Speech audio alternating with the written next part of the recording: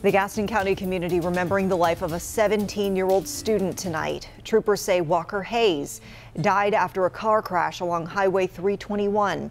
Friends and family came together this evening for a candlelight vigil in his honor. Hayes was a student at Highland School of Technology, the school sharing these photos of him online. Officials say that crash is under investigation.